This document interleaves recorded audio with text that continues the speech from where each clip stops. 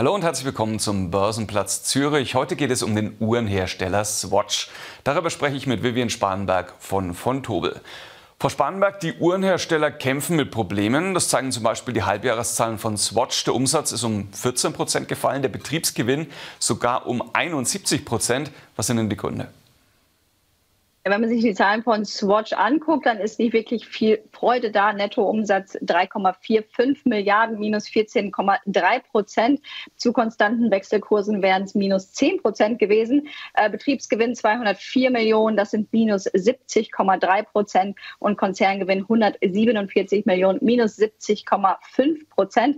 Der Umsatzrückgang vor allem ausgelöst in der stark gesunkenen Nachfrage, vor allem in den Luxusgütern in China, Macau und Hongkong. Einzig die Marke Swatch widersetzt sich dem negativen Trend und steigerte die Verkäufe auch in China um 10 Prozent. Äh, der Marktanteil in China, also den Marktanteil vom Umsatz, 30 Prozent macht äh, der Umsatzanteil aus hier bei Swatch. Ähm, die Luxusmarken Blancpain und Omega waren besonders vom schwierigen Marktumfeld hier betroffen, während Harry Winston, also Schmuck, ähm, sich gut behauptet hat. Swatch und Tissot haben auch ihre starke Position hier halten können und die Nachfrage nach der Moonswatch und Swatch Scuba 50 ähm, bleiben auch weiterhin stark. Die Gruppe erwartet auch, dass der Markt für die gesamte Luxusgüterindustrie bis zum, Jahre, äh, bis zum Jahresende eher schwierig sein wird. Das Potenzial in China bleibt aber weitergehend intakt und die aktuelle Situation bietet für einige Konzernmarken hier eher äh, Wachstum als Rückschritt. Äh, das zu Beginn des Jahres eingeführte Kostensenkungsprogramm hat auch die ersten Früchte getragen und soll hier vor allem in der zweiten Jahreshälfte dann endlich zeigen, äh, wozu es was taugt. Also ein durchaus schwieriges Umfeld momentan für Swatch. Trotzdem geht es auch besser. Konkurrent Richemont hat im Vergleich zu Swatch bessere Halbjahreszahlen präsentiert. Was macht denn Richemont anders bzw. besser als Swatch? Auch ähm, Richemont hat in Asien eher Umsatzrückgänge hier verzeichnen müssen, hat aber starkes Wachstum vor allem in anderen Regionen ähm, zeigen können. Herausragende Performance in Japan, Wachstumsbeschleunigung vor allem in ihrer Schmucksparte.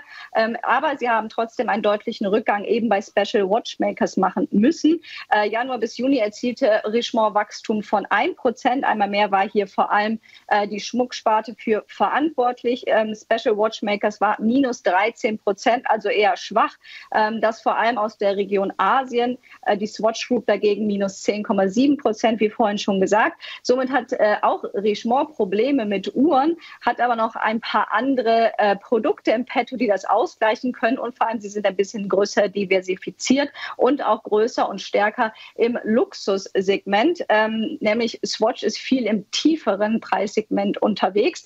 Da gibt es Chancen und auch ähm, Gefahren Jahren, vor allem ähm, da momentan das Geschäft mit den teureren Zeitmessern doch eher ein bisschen besser läuft und vor allem auch nicht so von den Exportschwächen hier ähm, spürbar ist. Januar bis Ende Mai ist der Schweizer Export für ähm, Uhren nach China im Vergleich zum Vorjahr 18,2 Prozent zurückgegangen. Und äh, da vor allem hat es nicht so die hochpreisigen Uhren getroffen, sondern eher das tiefpreisige Segment. Ein, ein mulmiges Gefühl aus, auch Ebenfalls äh, sind die Spekulationen hier über die Erhöhung der Luxussteuer in China und äh, der sich zuspitzende Handelsstreit zwischen EU und China, was natürlich dann alle Luxussegmente hier betreffen sollte, sowohl Richemont, aber als auch Swatch.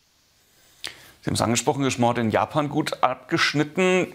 Swatch sieht da auch gute Wachstumschancen, genauso wie in den USA. Wie interessant sind denn diese Märkte für Swatch und welche Märkte sind für Swatch am wichtigsten?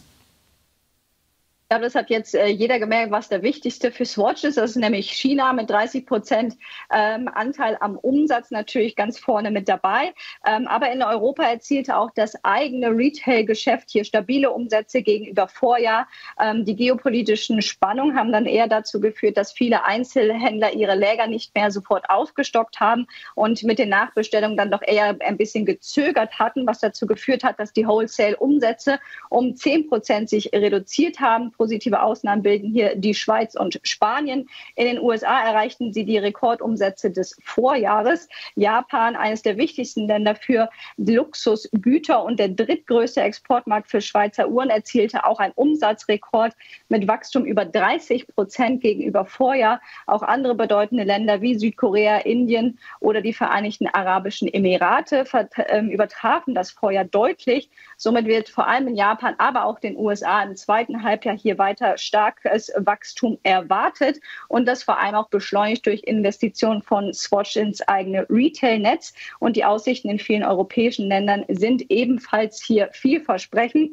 Es ist aber erstmal abzuwarten, ob China weiter einbricht und nicht vielleicht diesen schönes oder das schöne Wachstum aus allen ähm, anderen Ländern dann somit eliminiert. Auf alle Fälle hat sich Swatch durchaus optimistisch zur Zukunft geäußert und sieht grundsätzlich langfristig gute Wachstumsperspektiven. Deswegen gab es ja auch keine einschneidenden Maßnahmen wie zum Beispiel Entlassungen oder Kurzarbeit. Wie beurteilen Sie denn die Aussichten von Swatch?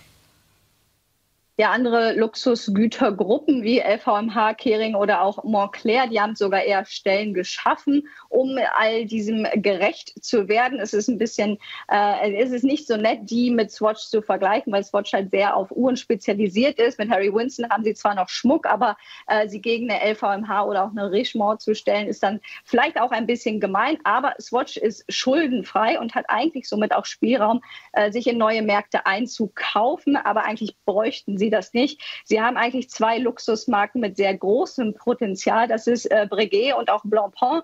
Beide hätten eigentlich auch das Format in der Uhrenindustrie äh, in der Champions League mitzuspielen, aber die stattdessen wird hier angeführt von Audemars und auch von Patek Philippe. Ähm, das obere Preissegment bei den Schweizer Luxusuhren ist auch relativ dynamisch am Wachsen, aber die Swatch Group kriegt da irgendwie gar nichts von mit. Zudem bleibt auch äh, in der Swatch Group mit Omega eher im Schatten von der äh, von Rolex.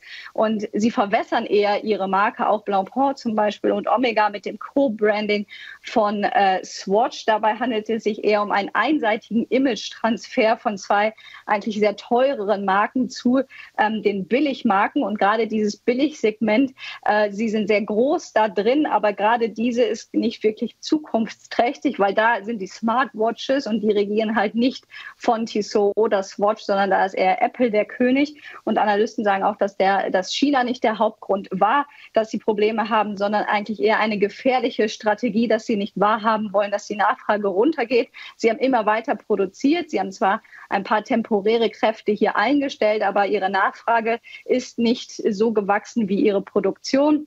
Und ihre Ausgaben haben sie auch nicht runtergefahren. Und gerade bei der Herausforderung Bedingung sollte eher hier vielleicht mal ein bisschen auf die Ausgaben geschaut werden. CEO Hayek äh, war das relativ egal. Er hat nämlich äh, relativ große Liebe zum Werkstattplatz Schweiz und will hier keine Leute kündigen oder ähnliches. Ähm, nichtsdestotrotz kann er die Produktion und vor allem Marketing nicht so lange oder nicht mehr lange auf so hohem Niveau halten.